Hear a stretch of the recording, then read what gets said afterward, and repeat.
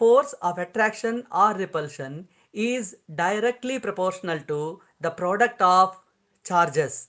So here F is directly proportional to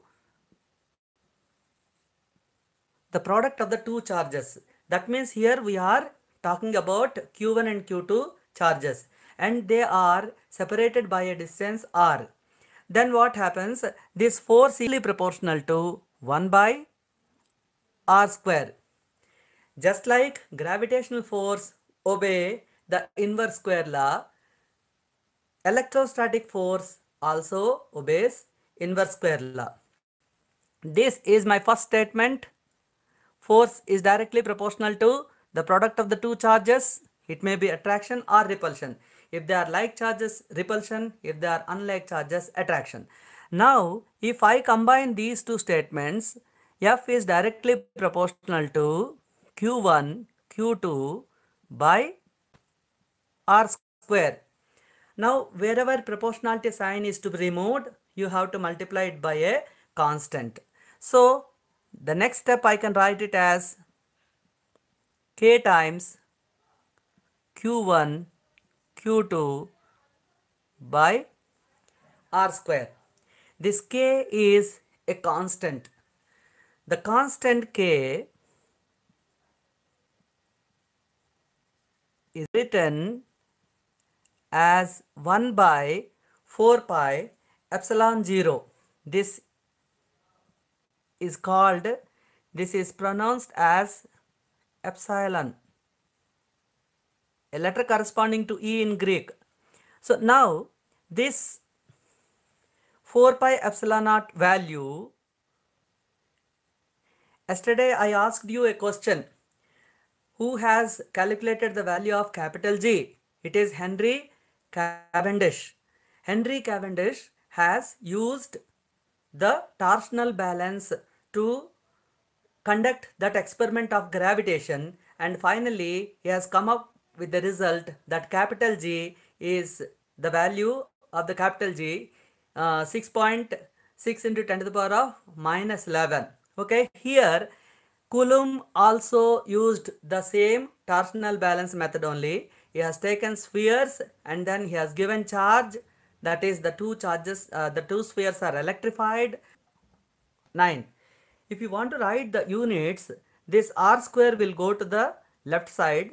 That is newton f for f it is newton. For r square it is meter square and this coulomb and coulomb will go down. Therefore coulomb minus 2 so this is the value of k. So if you look at this uh, value and in the gravitational force it was 10 to the power of minus 11 therefore the electrostatic forces are very high. It is the permittivity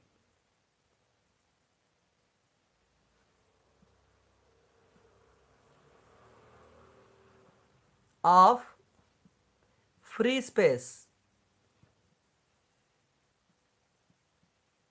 Or vacuum.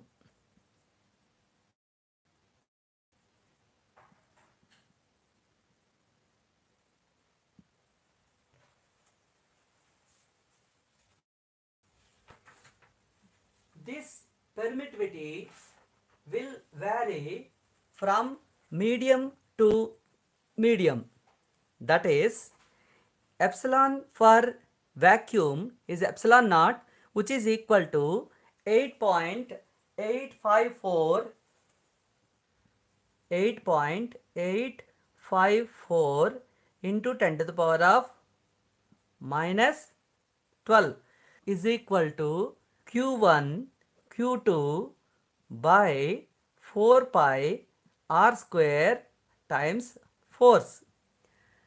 Now this is Coulomb square r square that is under uh, it is under denominator therefore meter minus 2 and f that is Newton minus 1. So this is the SI unit and this is the value of epsilon naught. Now this is the permittivity of free space. So this permittivity of what is the permittivity? It is the property of the medium how fast it allow the electric field. Just like the speed of light depends on medium. It is varying from one medium to another medium. So similarly, the permittivity also varies from medium to medium.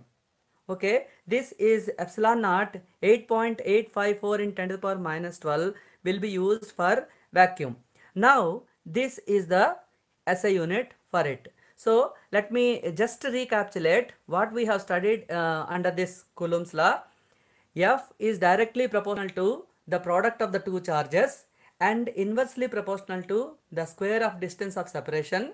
When we combine those two, F is directly proportional to Q1 Q2 by R square and when proportionality sign is to be removed, the right side should be multiplied by a constant F is equal to K times Q1 Q2 by R square K 1 by 4 pi epsilon 0 whose value is 9 into 10 to the power of 9 Newton meter square Coulomb minus 2 and whereas this epsilon naught is called the permittivity of the free space. So this is the uh, Coulomb's law. But here we have not talked about the direction. We know that force is a vector. So whenever we talk about vector, we have to describe it completely along with its direction and its magnitude. So we just talked about the magnitude. Now we have to talk about its direction. What could be the direction for it? So before that, that means we have to write the vector form. So before that, let us compare the known force that is gravitational force and then this the force just we defined that is electrostatic force. So these are the differences between gravitational force and electrostatic force. So here the gravitational force they are always attractive these are both attractive and repulsive suppose if they are like charges they repel each other if they are unlike charges they attract each other now if you compare the magnitudes of gravitational force and electrostatic force it is very small in magnitude whereas this is very large when compared to gravitational force here one example I have given the gravitational force between two protons. How do we do? We substitute G, the mass of the proton, again mass of the proton divided by, suppose if you keep in between uh, the two protons at 1 meter distance. Then what is the value of gravitational force? We can calculate it. Similarly, we can also calculate the electrostatic force of attraction because we know Q1 is 1 unit, uh, 1e then uh, it with positive of course uh, then two in between two protons it's always repulsive and you, you, by substituting 9 into 10 to the power of 9 one electron charge one electron charge and one meter here you will be able to find out the electrostatic force of attraction. The ratio is if electrostatic force of attraction is to gravitational force of attraction if you take it is 10 to the power of 36 is to 1 10 to the power of 36 is to 1 so this is suppose if you go with the electrons it is much more 10 to the power of if i remember well it's 43 is to 1 okay so gravitational force is having very low magnitude whereas the electrostatic forces are very high when compared to this gravitational forces. The next very important thing, gravitational force does not depend in, on medium. Suppose if I take two spheres and if I hang them here or otherwise if I take these two pens, this will have some force of attraction in vacuum. If I dip these two pen, I mean pens in water, still the gravitational force will remain same it does not depend whether I dip it in water or in kerosene.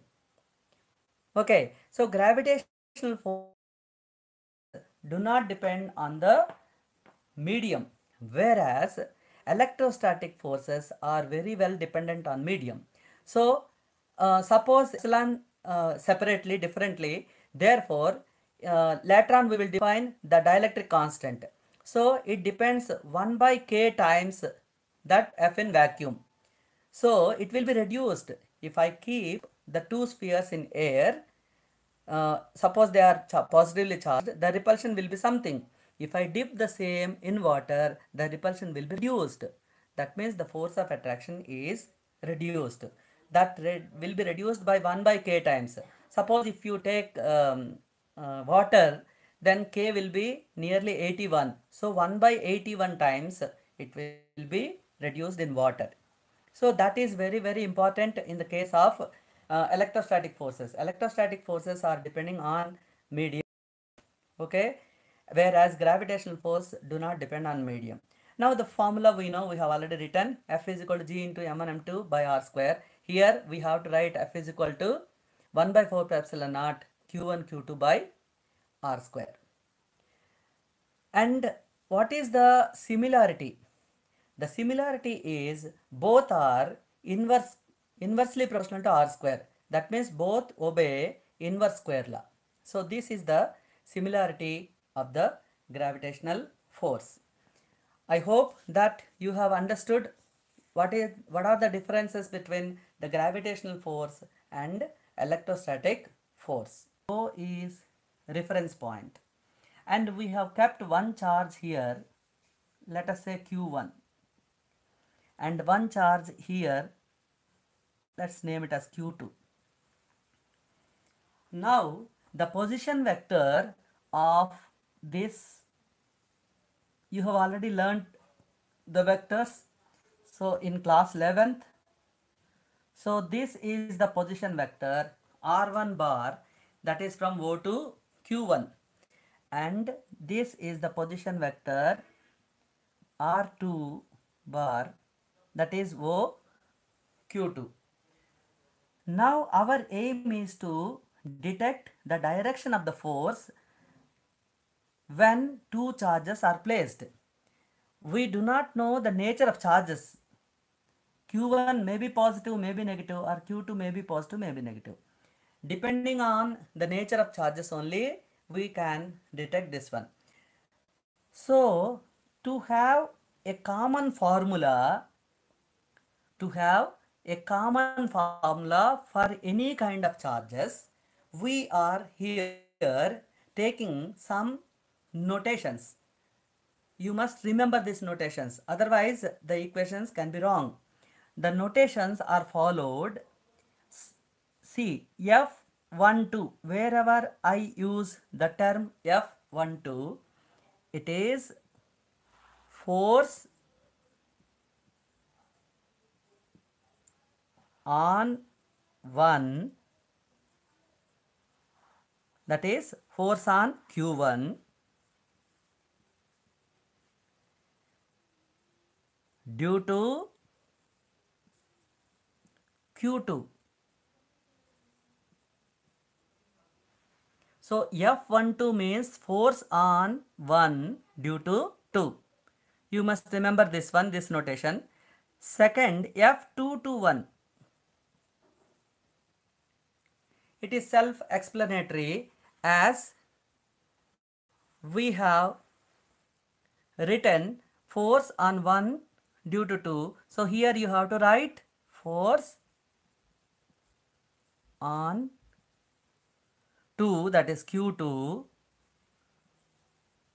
due to Q1. Okay, this you must know. Then the notation regarding the vectors. What we are considering R21 is a vector starting from q1 to q2 r21 is a vector starting from q1 to q2 that means q1 to q2 it is going therefore i name this as r2 1. Now let's find the value of R21 by using triangular law of vectors. What triangular law of vectors tells us OQ1 bar plus Q1 Q2 must be equal to OQ2 or I can say R1 bar I hope that you remembered vectors triangular law.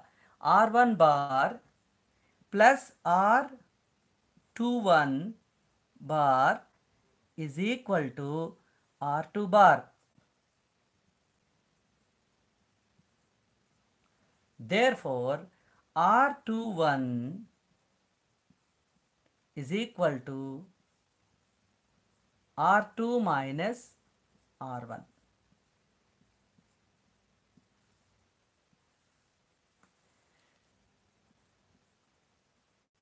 R1 minus R2.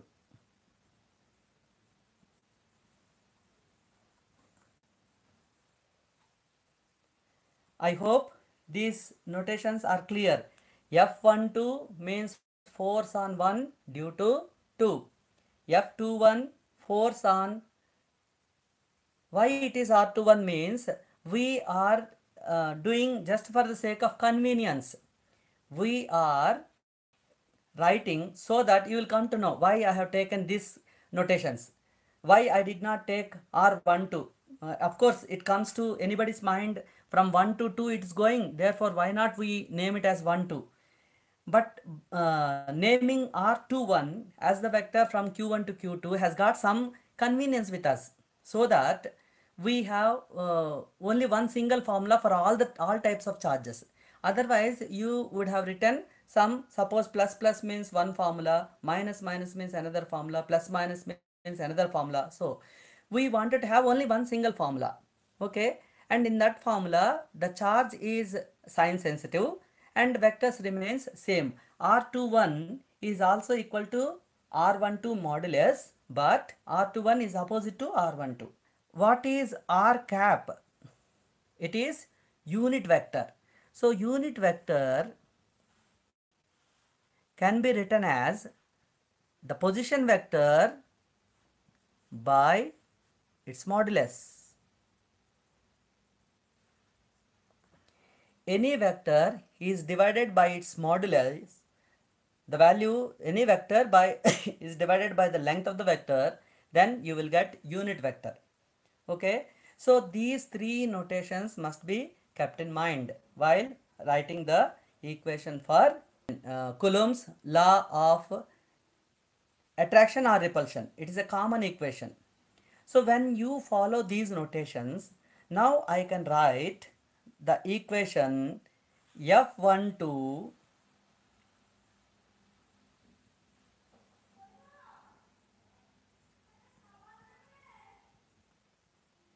as 1 by 4 pi epsilon naught q1 q2 by 1 2 square and it is 1 2 just to write this and this same we have taken this notation.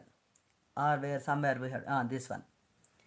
Just to write f12 is equal to 1 by 4 to epsilon naught q1 q2 by r12 square and r12 to write this equation. This is 1 2 this is also 1 2 okay? But this 1 2 means force on 1 due to 2 this 1 2 means it is q2 to q1 did you get the point? So now this this actually it is in the direction of this. Now, if you want to write this, then this becomes cube. Q1, Q2, R12 cube and R12 position vector. Okay. So, this is the vector equation of the Coulomb's law. Now, let us test it. I'll write the equation here so that you can see the directions. Now suppose let's consider I'll write the equations for your convenience. So F12 I hope uh, uh, this you can see. F12 that is force on 1 due to 2 is equal to 1 by 4 pi epsilon naught q1 q2 by r12 square and it is in the direction of vector q2 to q1 now suppose this is plus. This is plus. We are calculating the force on this one q1 so when both are positive what should be the direction? How the uh, force on q1 is experienced? It is in this direction. Do you agree this or not? Because both are positive therefore repulsion. Okay. Now what we have written here q1 is positive q2 is positive and we have written 1 to r12 r12 direction means 2 to 1 did you get the point? See i have written this equation and i wanted to discuss based on this equation considering both are positive. Okay? When both are positive what should be the direction of the force? It should be repelling the force on 1 due to 2 is in this direction. Is that clear or not? Now whether it is tallied with this equation or not you see 1 by 4 pi epsilon naught q1 is positive. Q2 is positive. And this r12 bar means it is a vector 2 to 1 2 to 1 q2 to q1 so our direction is satisfied. Now let us make this q2 as negative. Then what could be the direction of the force on 1 due to 2 q1 is positive q2 is negative. The force on q1 we are discussing. So what should be the direction? The direction would be will it be attractive or uh, this thing? Yes 1 to q1 to 2 this one. Because q2 is negative and q1 is positive therefore this negative wants to attract that so it is in this direction. Now let us verify whether this equation tells us the thing properly or not. F12 bar that is force on 1 due to 2 this q1 is positive okay? Q2 is negative. I told that equation this equation is sign sensitive of charge. Sign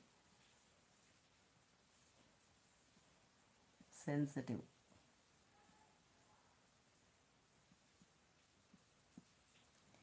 so what happens? This product will be negative.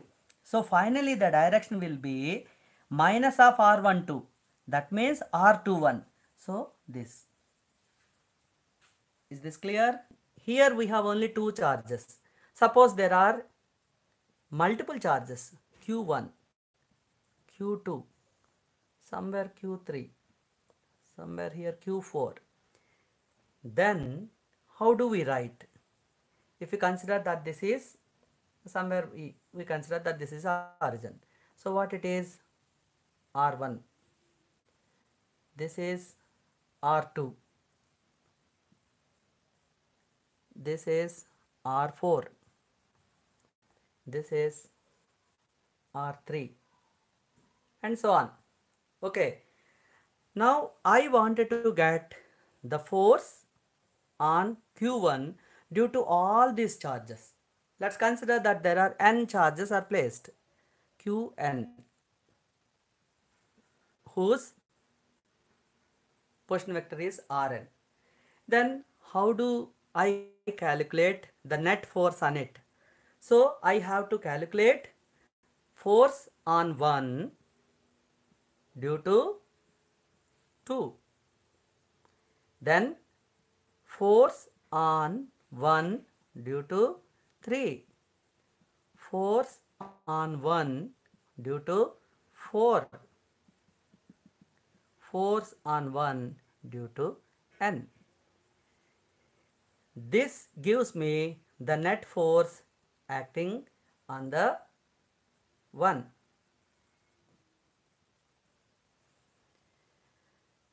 How do I calculate force on 1 due to 2? What, what formula should I write here? As per our notation. 1 by 4 pi epsilon naught is common term.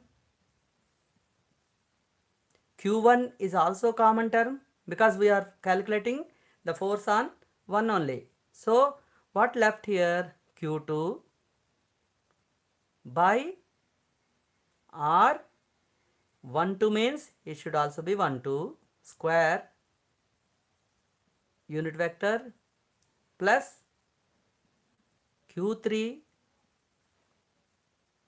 R 1 3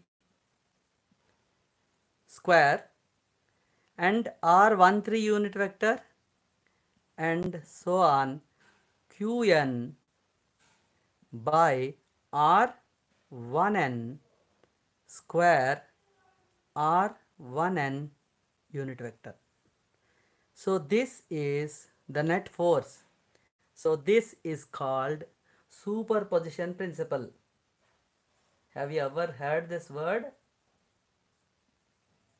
This principle have we studied anywhere?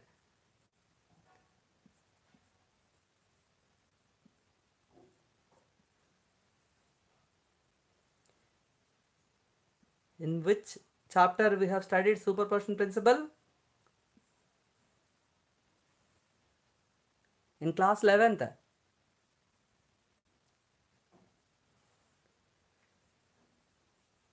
Ah, waves. Very good.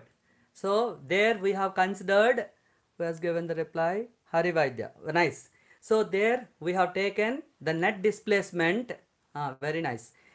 Net displacement is the vectorial sum of all individual displacements. That is only known as superposition principle. So here also we wanted to calculate the F force on one charge due to all other charges. How do we do? We have to calculate F12, we have to calculate F13, F14 and so on up to F1n. In then we have to apply the Coulomb's law Q1 by 4 pi epsilon naught Q1 Q2 by R square that formula while writing R square in the first term R12 square R12 unit vector and so on. And if you want to write uh, the single uh, sigma notation what we can write q1 this can this i can write it as sigma qj r1j and r1j unit vector where j runs from 2 to n. So i can write it like this. Suppose 1 by 4 pi epsilon naught q1 qj and then r1j square and r1j unit vector. This sigma this term sh I should take sigma for this one. I'll write one second for you I'll write here clearly. So F net is equal to 1 by 4 pi epsilon naught q1 sigma j runs from 2 to n 2 j by r 1 j square and unit vector is r1 j so this is the formula for net force on 1. So similarly, if you want to write the net force on 2, simply it becomes 2. Rest of the things will be same. F23, F21 will also be there. F21, F23, F22, F2, I'm sorry. The, uh, yes, the force of any charge on itself is 0. the force on any charge on itself by itself rather is 0 that is q1 the force between q1 and q1 is 0 okay if it is same. Now f12 in place of uh, 2 suppose if you want to get f2 1 f2 3 and so on. So this is called superposition principle. Now let us uh, uh, see a demonstration whether really this superposition principle works or not. Let me show you one demo. I have taken three magnets.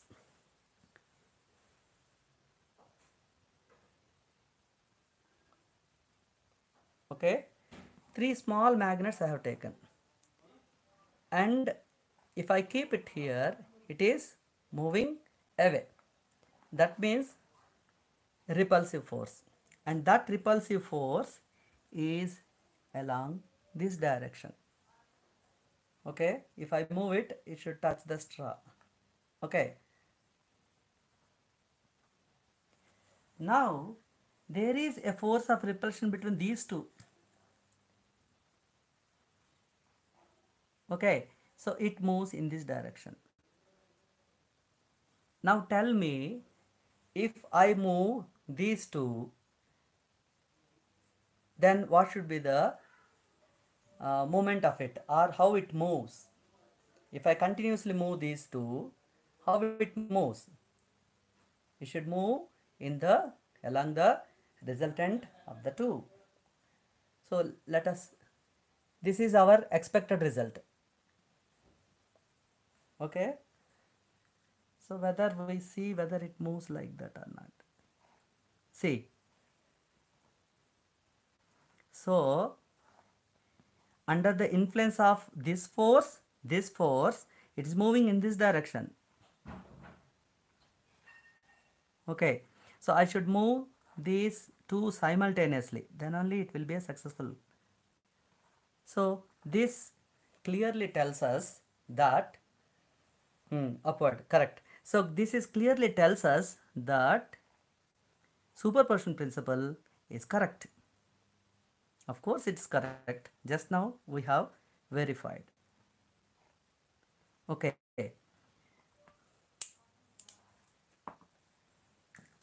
So this superposition principle is very useful for us. The other way of uh, doing this one suppose if one force is in this direction okay let me say that it is f1 another force is in this direction f2 then third force is in this direction f3 then how do i calculate the net force with reference to this point? So for that that also we have learnt in class 11th.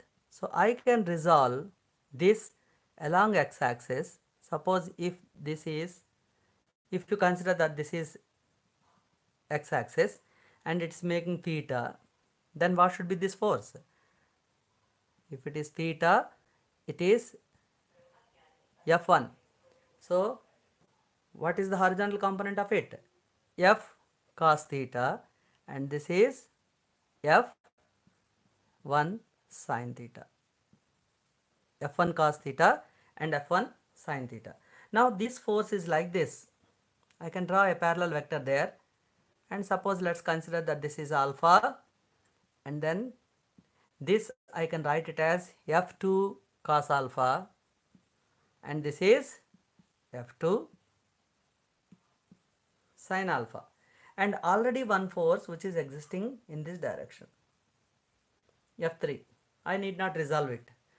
So what we do we take all x components and we add with respect to their signs. If it is in positive along the positive x-axis we will add together. If it is along the negative x-axis we will have to subtract it. And then finally we will calculate net fx and then we take fy net all the components along y direction.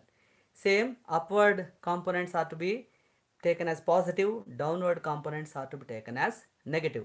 And then finally you apply fx square plus fy square which gives you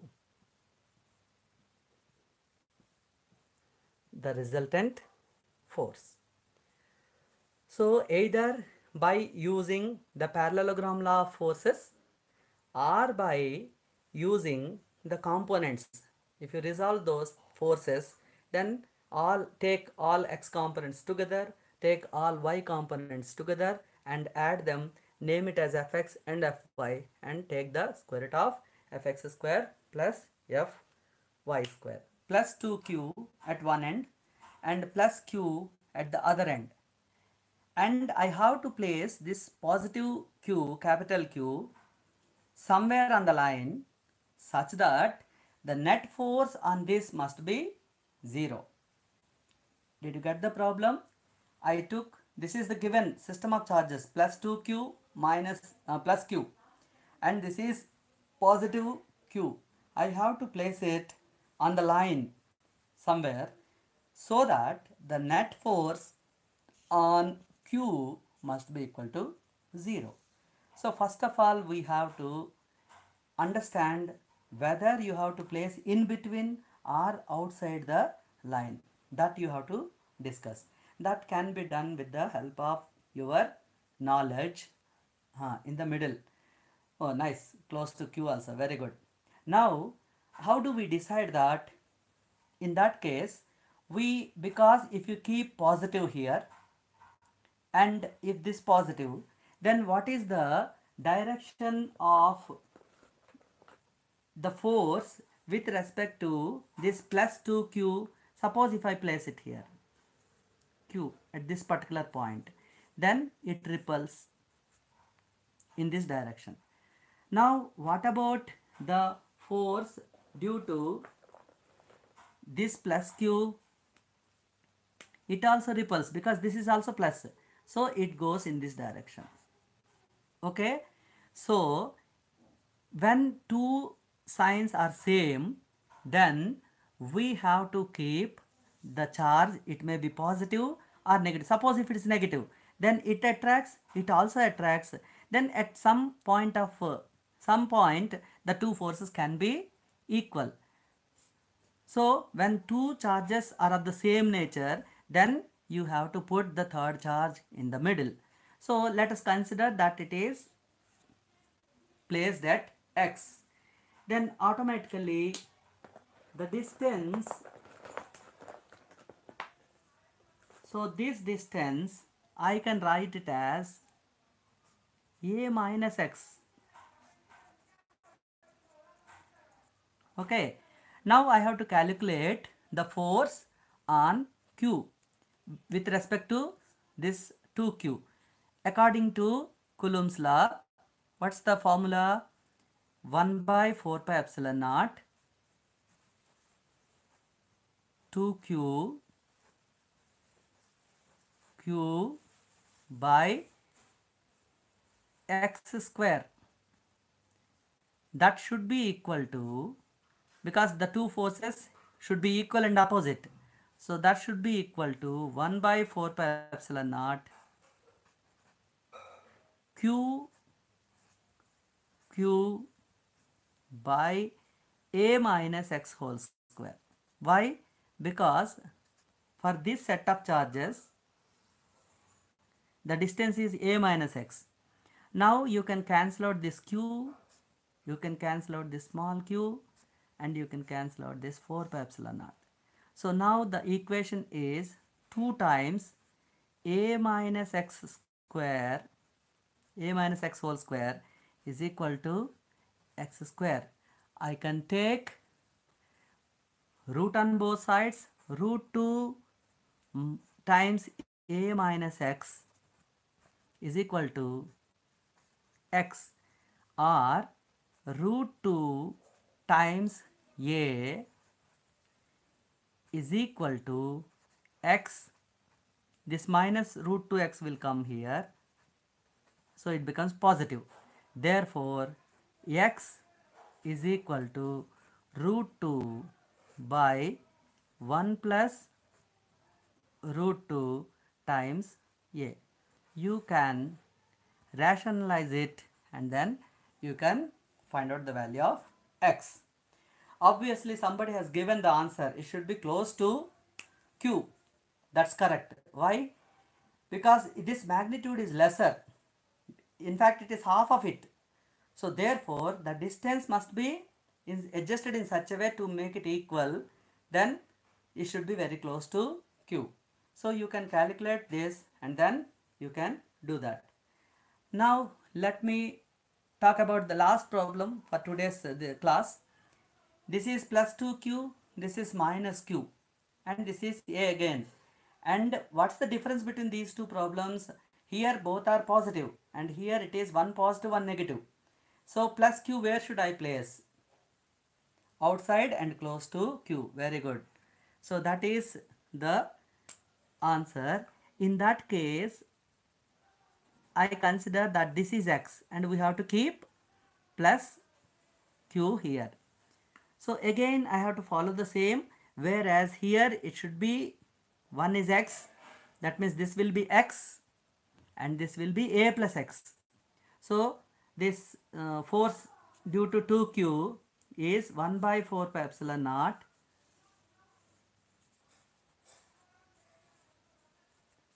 Two q capital Q by a plus x. Because that is the distance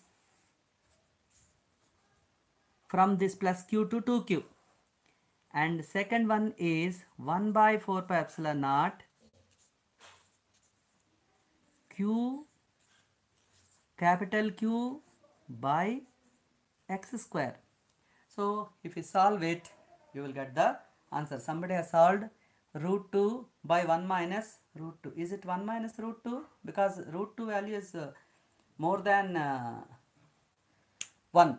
So just verify it. I hope that it should, it should be root 2 minus 1 rather. Check it and then uh, come back come back with the solution.